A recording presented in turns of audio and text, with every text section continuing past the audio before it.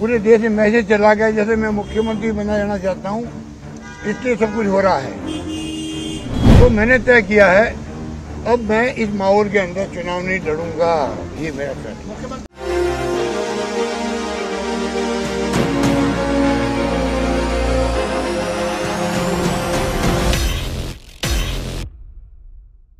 नमस्कार, आप सबका स्वागत है हमारे चैनल नेक्स्ट नाइन न्यूज़ पर। मेरा नाम है दीपक गुप्ता। राजस्थान में एक साथ कई विधायकों ने इस्तीफा दिया, जिसकी संख्या 90 प्लस बताई गई थी। भारतीय जनता पार्टी का ये कहना है कि सरकार अल्पमत में है, यानी सरकार के ज़्यादातर विधायकों ने इस्तीफा दे दिया है तो सरकार गिर चुकी है। मध्य अवधि चुनाव की तैयारी की जाए। लेकिन बानवे विधायकों के जो इस्तीफे की खबर सामने आई, आखिर उसके नियम क्या कहते हैं? क्या सचमुच उनका इस्तीफा कबूल हो चुका है? क्या गहलोत सरकार गिर चुकी है? कल अशोक गहलोत और सचिन पायलट दोनों ने आला कमान सोनिया गांधी से मुलाकात की। अशोक गहलोत ने माफ़ी मांगी इस पूरे घटनाक्रम को लेते हुए और साथ ही साथ कांग्रेस अध्यक्ष के चुनाव से भी पैर पीछे खींच लिए। तो वहीं दूसरी तरफ़ यहाँ पर बात करें सचिन पायलट को यह आश्वासन दिया गया कि कांग्रेस में और राजस्थान में जो कुछ भी होगा, अच्छे के लिए होगा। और सचिन पायलट ने यह भी कहा कि कांग्रेस में हम चाहते हैं राजस्थान में चाहते हैं कि कांग्रेस दोबारा सरकार रिपीट करे। लेकिन बानवे विधायकों के इस्तीफे को लेकर जो जानकारियाँ सामने आई हैं, वो जानकारी आपको दें कि क्या नियम कहते हैं, क्या कानून कहते हैं, क्या सीपी जोशी उनके इस्तीफे पर मोहर लगाकर सभी विधायकों का इस्तीफा कबूल करके सरकार गिरा देंगे, ये अपने आप में बहुत बड़ा सवाल है।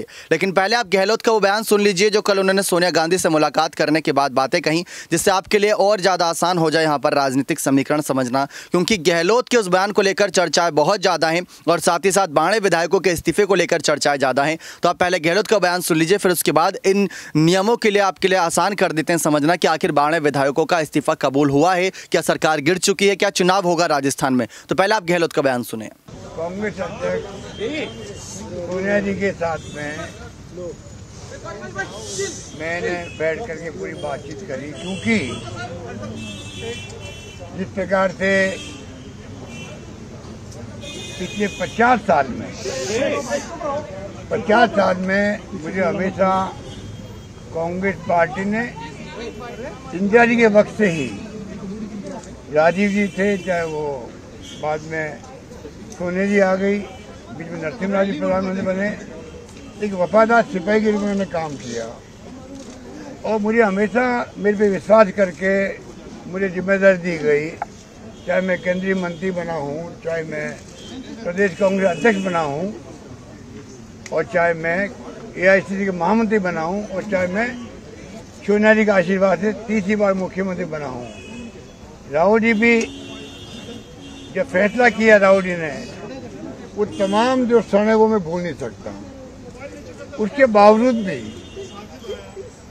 जो घटना हुई परसों के रोज, दो दिन पहले, वो घटना इतना हिला के रख दिया हम सबको।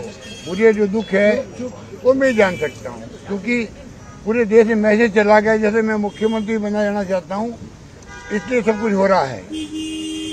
मैंने सोनिया जी से भी सॉरी फील किया है, माफ़ी मांगी है, क्योंकि एक सिंपल प्रस्ताव जो होता है, एक लाइन का, वो परंपरा हमारी है कि एक लाइन का प्रस्ताव तो हम करते ही करते हैं, हर मीटिंग के अंदर करते हैं, चाहे चुनाव हो, चाहे मुख्यमंत्री के बारे में कोई फैसला करना हो, एक फैसला करते वक्त में एक लाइन का प्रस्ताव करने का हमारे यहाँ हमेशा से ही कायदा रहा आप सबको मालूम है, आप सबको मालूम है।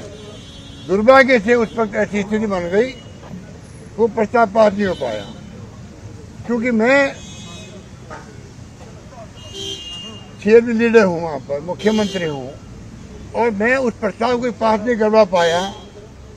कान चाहे कुछ भी रहे होंगे। तो मेरी मॉरल रिस्पॉन्सिबिलिटी है कि एक मुख्यमंत्री होने के बावजूद भी मैं एक प्रस्ताव, एक लाइन का जो हमारी परंपरा है, पहली बार वो परंपरा के अंतर्गत वो प्रस्ताव पास नहीं होगा। इस बात का मुझे दुख हमेशा ज़िंदगी भर रहेगा। और मैंने मैंने सोनिया जी से भी सॉरी फील किया है कि मैं उस काम में कामयाब नहीं हुआ ठीक है? हो गई बात? सर आप आप अध्यक्ष पद की चुनाव लड़ेंगे सर आप अध्यक्ष पद की चुनाव लड़ेंगे आप अध्यक्ष पद का चुनाव लड़ेंगे पार्टी देखिए सर आप देखिए देखिए ये घटना जो हुई है इस घटना ने कई तरह के मैसेज दे दिए पूरे देश के अंदर और मीडिया भी हमारे जो है कई बार किंग मेकर बन जाता है कई बार वो मीडिया महँगाई के साथ में जो देश का हालात है, शांति, सद्भाव, प्रेम, भाईचारा रहे, ये संदेश दे रहे पूरे मुल्क को वो। और हिंसा की कीमत में नहीं होनी चाहिए। उस माहौल में वो चल रहे हैं। और दूसरी तरफ़ मैंने उनसे मिला, कोची में जा करके, रिक्वेस्ट की कि आप अध्यक्ष का चुनाव लड़ें। आखिर में उन्होंने अस्वीकार कर दिया, मैं मेरी बात को कायम हूँ, मैं इलेक्शन लड़ूँगा नहीं। तो मैंने कहा, भाई, जो सबकी भावना है कार्यकर्ताओं की नेताओं की तो मैं फिर चुनाव लड़ूँगा ये मैंने कहा था। सुनिए आप पर अब क्योंकि कल परसों की घटना हुई है और मेरी मॉरल रेस्पॉन्सिबिलिटी थी कि वो प्रस्ताव पार होता तो मैंने तय किया है अब मैं इस माहौल के अंदर चुनाव नहीं लड़ूँगा ये मेरा फैसला। मुख्यमंत्री बने रहेंगे सर। ये ये ये फैसला मैं नहीं करूँगा ये फैसला सोनिया गांधी जी करेगी थैंक यू देखा आप सभी ने किस तरीके से अशोक गहलोत ने कुछ बड़ी बातें रख दी हैं आला कमान से मुलाकात के बाद, लेकिन आप बात करते हैं यहाँ पर नियमों की। लेकर चलते हैं आपको कंप्यूटर स्क्रीन की तरफ़, जिससे आपके लिए समझना ज़्यादा आसान हो जाए दरअसल बाड़े विधायकों के इस्तीफे का क्या होगा, ये विधानसभा के नियम है जो अपने आप में बहुत दिलचस्प है। दरअसल यहाँ पर सारी बातें कही गई कि विधायकों ने तय फॉर्मेट में इस्तीफा दिया है। विधायकों ने विधानसभा की सदस्यता से त्यागपत्र देने के लिए बने नियमों के फॉर्मेट में लिखे गए इस्तीफे पर हस्ताक्षर करके खुद विधानसभा अध्यक्ष के घर जाकर सौंपे हैं। नियमों के अनुसार इन इस्तीफों को स्वीकार करना अध्यक्ष की मजबूरी है। विधानसभा अध्यक्ष के इस्तीफा मंजूर करने से पहले अगर विधायक खुद उपस्थित होकर अपने इस्तीफे वापस लेने की बात नहीं कहते, तब तक ये माना जाएगा कि सदस्यता से त्यागपत्र हो गया है। लेकिन ऐसा करने में वो सियासत कमज़ोर पड़ जाती है, जिसके कारण ये लिखे गए थे। राजस्थान विधानसभा की प्रक्रिया नियम के अध्याय इक्कीस के नियम एक सौ तिहत्तर में सदस्य के त्यागपत्र देने के नियम का उल्लेख है। इसमें सेट सेट फॉर्मेट का भी ज़िक्र है, जिसमें इस्तीफा लिखना होता है। इसी फॉर्मेट में पच्चीस सितंबर को विधायकों ने इस्तीफा लिखा है। नियम अनुसार विधानसभा का तत्काल यह इस्तीफा मंजूर करना होता है। अगर इस्तीफा डाक या किसी अन्य ज़रिए से भेजा जाता है तो विधानसभा अध्यक्ष पहले सुनिश्चित करते हैं कि इस्तीफा सदस्य ने बिना दबाव में किया है। लेकिन वहाँ पर सभी विधायक पहुँचे तो और खुद ही इस्तीफा सौंप कर आए थे। इस्तीफा खुद जाकर देने के बाद अब इस मामले में नियमानुसार विधायकों के हाथ में कुछ नहीं है। हाँ ये ज़रूर है कि विधायक खुद विधानसभा अध्यक्ष के सामने जाकर पेश होकर अपना इस्तीफा वापस लेने की जानकारी लिखित में दे। लेकिन ये बात तब तक संभव कहीं ना कहीं है जब तक अध्यक्ष ने इस्तीफा स्वीकार नहीं किया हो। हेमराम चौधरी ने दो बार इस्तीफा दिया था चौदह फरवरी 2019 और 21 2021 21 मई 2021 को कि विधायक पद से अपना इस्तीफा दिया और अध्यक्ष को भेजा। लेकिन चौधरी ने खुद विधानसभा को जाकर इस्तीफा नहीं सौंपा था, इसलिए इसको कार्यवाही के तहत देखा गया। अब बीजेपी ने कहा कि सरकार अल्पमत में है तो यानी कि सरकार गिर चुकी है और बानवे कांग्रेस और निर्दलीय विधायकों ने विधानसभा अध्यक्ष घर जाकर इस्तीफे सौंपे थे। इन इस्तीफे को लेकर तीन दिन बाद भी विधानसभा सचिवालय ने स्थिति साफ़ नहीं की है।